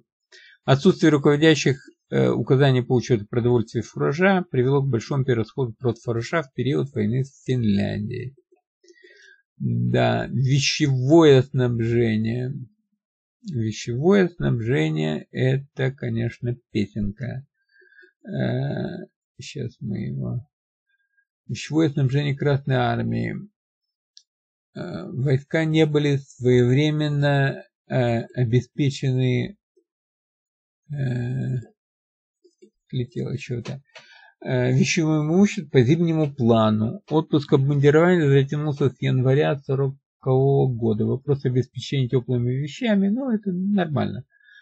Не додано 1 миллион комплектов обмундирования, выдача э, которого будет закончена лишь в июне месяце. Все нормально. Моб, обеспеч... Э, моб обеспеченность армии по основным предметам, головные уборы, шинели, летнее базирование крайне низкая. Вводимые запасы для частей, переходящие запасы для моб-складов не созданы. Неудовлетворительное состояние вещевого снабжения объясняется плохой работой управления снабжения, ну и прочее. В общем, тут можно Значит, набы округов не знают действительной обеспеченности и потребности частей в вещевом имуществе. Все, точка. Учет и хранение обмундирования поставлен неудовлетворительно. В случае хищения, порчи, незаконной выдачи. В общем, нормально. То же самое, что и в СССР, да? Учет имущества запущен и прочее, прочее, прочее. Учет по приказу 40 -го года еще не введен, банно-прачечное обслуживание запущено, ведение четырех управлений. Вот. Э, думаете, это вот маловажный факт? Да нет, ребята, нет мыла и соды. То есть все, войска вшивые. Отсюда могут идти заболевания, какие хотите. И тиф, и все подряд. Боеспособность от этого тоже серьезно, очень серьезно зависит. Обозно-хозяйственное снабжение. Я это пропущу. Э, так вот, немножко кадр постоит. Кто захочет, остановит на пазус, почитайте. Квартирное обеспечение войск э, тоже э, отапливаемая площадь. Жилой фонд в казармах для состава тыры-пыры такой-то, такой-то. Это, в общем-то, не, не, особенно вам ни о чем не говорит. Э, тут вот эксплуатируется столько, столько, столько. Вот факт вот этот, это да. И вот этот факт, это да. А вот эти цифры, они вам ничего не говорят. Эксплуатация на низком уровне, опыт боевых действий показал неприспособленность и неподготовленность квартирно-эксплуатационных органов к обслуживанию действующей армии. Нормально. Снабжение горючим. Танкисты воспряли. Запасы горючего крайне низкие, обеспечит армию лишь на полмесяца войны. Ну чё? Полмесяца войны, сороковой год. Думаете, в сорок первом стало что-то другое? 15 дней. Посчитайте, 15 дней. Все. Все. Вам, как говорят, танки через 15 дней можете бросать. Строительство бензоемкость, накопление, выполнение в недостаточных размерах и так далее, и так далее. Невыполнение плана строительства. Вас, э, вот, смотрите. Помните, я вам показывал насосик, да? И когда мне там этот один читатель говорил, можно было масло долить. Э, войска исключительно слабо обеспечены тарой под горючее. Ну, вы, вы не думаете, что под масло они были хорошо обеспечены. Не думайте. Это так просто. Тут Транспортировка горючего с баз производства в места потребления затруднена из-за недостатка тары, средств перевозки, заправки ЖД-цистерн. Театры военных действий, вероятные театры военных действий, не имеют достаточного количества баз горючего, особенно для авиации. Ну, хрен с ней, с этой авиацией. Что думаете, что для танков было достаточно баз. Тут вот четко написано. Вероятные театры не имеют достаточного количества баз говорит, точка. Все танки, независимо от их характеристик, если они не имеют горючего, это не больше, чем ящик металлолома. Отсутствие бережного отношения к сбору и регенерации отработанных масел. Оба-на. 30% только сдавали на регенерацию. Экономия, экономное расходование горючего ведется слабо. Результат недостаток. Финансовое хозяйство. Ну, план заказов с большим резервом, большие остатки, недочеты, имеющие место в области, ну и так далее. Это нормально. Это, это в СССР всегда было с запасом. По политическому управлению, да, марксизм, ленинизм и армия непобедима. Все. А, значит так. Кадры политсостава от 30 до 45, их 63%, не имеют военной и политической подготовки. Все. А, вы учите, что тогда еще были комиссары, да, которые могли вмешиваться то есть, не имея подготовки, ты вмешиваешься в военный вопрос. Все приводит к тому, что кирдык. 73% не имеет военной подготовки. Политуправление не определило, какими э, военными знаниями, и до последнего времени не организовало подготовки политсостава. Но учтите, этот политсостав мог отменить решение командира. Это потом их кышнули когда Мехлес на Керченском э, полуострове накомандовал. Вот. вот после этого это произошло. А сейчас это все еще 41 год, это все в силе. Э, ликвидация вредительства в политсоставе. Ой, песня. песня, аттестование политсостава с получением справок НКВД и сбором чисто формальных отзывов от коммунистов. Вот называется «Нехер было делать, блин». Заставили всех их копать эти хранилища под соляру, было бы больше толку. Потребность в политсоставе 153 тысячи. По родам войск не определена, большая часть ну это было, да. Да-да-да-да-да-да-да. Э, в армии имеется кандидатов в партии с просроченным стажем столько, один с восьмилетним кандидатским, из них с восьмилетним кандидатским стажем 3130, но это, это очень это дико важный вопрос, понимаете. Меня вообще интересовало больше, сколько там ленинград, лейтенантов Бибилов, блин, э, э, имеется. Это более Вермахт, Вермахт заранее поставил себя вне политики. Он вот этой вот фигней не занимался. Партбилеты и учетника. Политзанятия, изучение сопредельных стран армии. В общем, короче, не уделяет достаточного внимания работе среди войск и населения. Асавиахим. Санитарное и ветеринарное состояние. Здесь такое тоже есть. Вот это интересно. Недостаточно подготовленные медицинские кадры, нехватка хирургов, медсанимущества, автомобильно-санитарного транспорта. Слабо привлекались к работе по моб обеспечению санитарных органов. Вот это, кстати, э, всегда очень важный вопрос, и, и нас он напрямую касается. Его надо изучать во всех случаях. Военно-учебные заведения. Ну, друзья танкисты, давайте, давайте. 16 военных академий, 9 военных факультетов, сухопутных военных учебных заведений, 136 училищ, ведении управления высших военно-учебных заведений и управления военно-учебных заведений. Управление высших и управление, ну, два таких управления, блин, которые разными. Эти высшими 16 академий, а это, это те академиков готовят, а эти просто, блин. Нормально. По количеству должна удовлетворять потребности, за исключением отдельных специальностей. Качество подготовки вследствие слабого состава преподавательских кадров требует улучшения. То есть качество подготовки дрова слабый состав преподавательских кадров. Военспецов шлепнули, оставили кого? Угу. Политически преданных. В программах э, военных э, академий тут программы разбираются. Частые реорганизации, нет стабильности учебных процессов и части программ, разработанных управлением никем, не утверждена. Часть программ не утверждена. Низкая матбаза Академии военных училищ. О, низка. Все.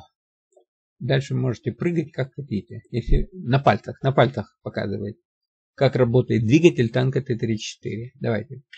Шатуны, поршни. Да. Нормально. А, завышение оценок. Низкая требовательность. Ну, понимаете как? преподаватели. Значит, ставят низкие оценки, значит им говорят, не умеешь научить. А как ты его научишь, если у него исходной базы нет? Вот потому и завышают, чтобы себе жопу прикрыть. А результат это пахнет большой кровью. Ой, большой. Слушатели, в академиях Гамузом, курсанты в училищах Главные недостатки. Недостаточно знания мат-части, недостаточно практическое, практических навыков. Вам не кажется, что этого уже достаточно, чтобы можно было разгромить эту армию? А? Слабые знания иностранных языков? Да ну его нахрен, даже эти иностранные языки. Возьмете это самое из, из иньязов цивильных, возьмете их сюда, и они вам будут переводить. Вы вот это обеспечите, мат-часть и практические навыки. И еще обеспечьте педагогическая, методическая вот, подготовка кадров. к вам приходу, приходят совершенно сырой контингент, вы его должны научить.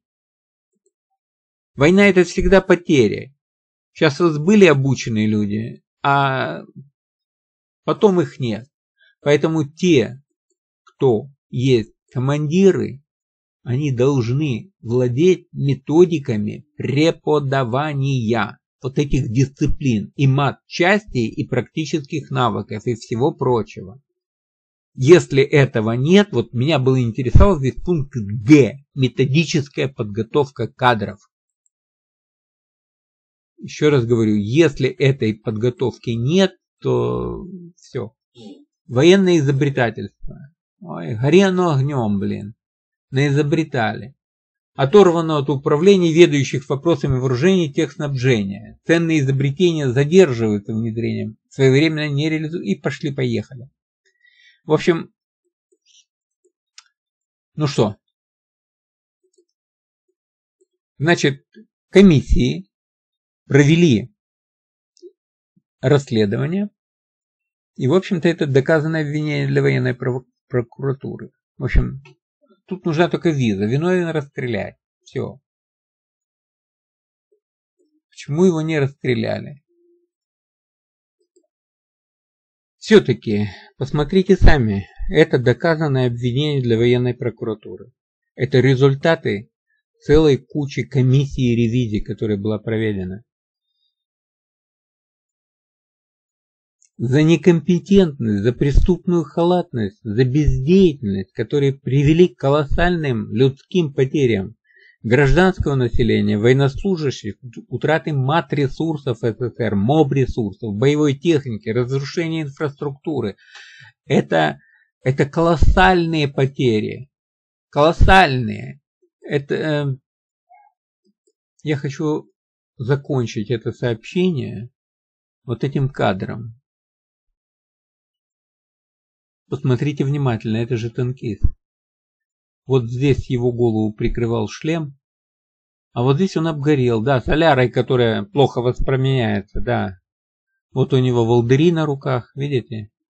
Пацан, да. Вот им командовали кто? Я хотел бы знать, грамотные командиры или безграмотные, которые посылали хрен куда. Посмотрите внимательно. И вот за это тоже отвечает Ворошилов. И вот та шобла, которая под ним была. Я заканчиваю, я уже затянул, час 52.